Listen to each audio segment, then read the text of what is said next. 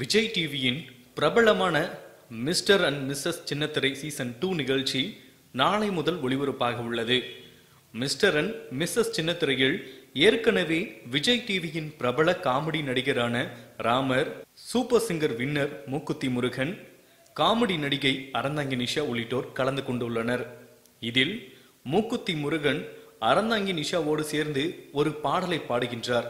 அது என்ன பாடல் என்றால் கமலஹாசன் அவர்களின் நடிப்பில் வெற்றி விழா திரைப்படத்தில் வரும் மார்கோ மார்கோ மாறுகளி என்ற இந்த பாடலை தான் மூக்குத்தி முருகன் பாடிக்கொண்டு அறந்தங்கி நிஷாவோடு நடனமாடுகின்றார்.